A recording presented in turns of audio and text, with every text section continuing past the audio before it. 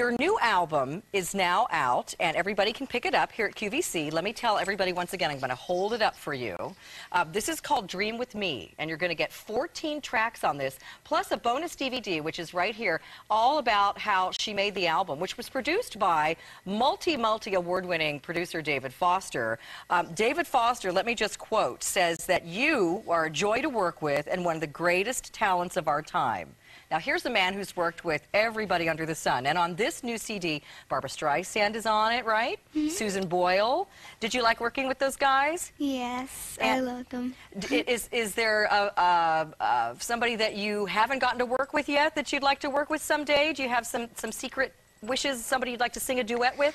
I'd love to sing with Lady Gaga. I know that she's way out of my genre of music, but she's a really good singer. I think that would be phenomenal. You and Lady Gaga? Let's make that happen.